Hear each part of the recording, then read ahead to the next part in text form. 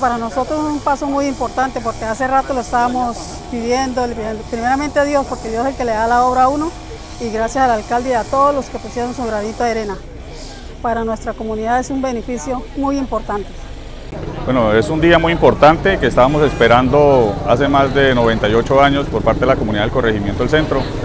Eh, gracias a Dios, a la gestión del alcalde, hoy se hace realidad y tenemos eh, nuestra ambulancia para nuestro centro de salud. No, agradecimientos, agradecimientos hacia el distrito de Barranca Bermeja, hacia el alcalde, por todo el compromiso que ha tenido con nuestro corregimiento. De verdad que se van a, beneficiar más de 20 mil habitantes de nuestro corregimiento y bueno, ya tenemos las instalaciones, tenemos los equipos, faltaba la ambulancia y hoy se hace realidad.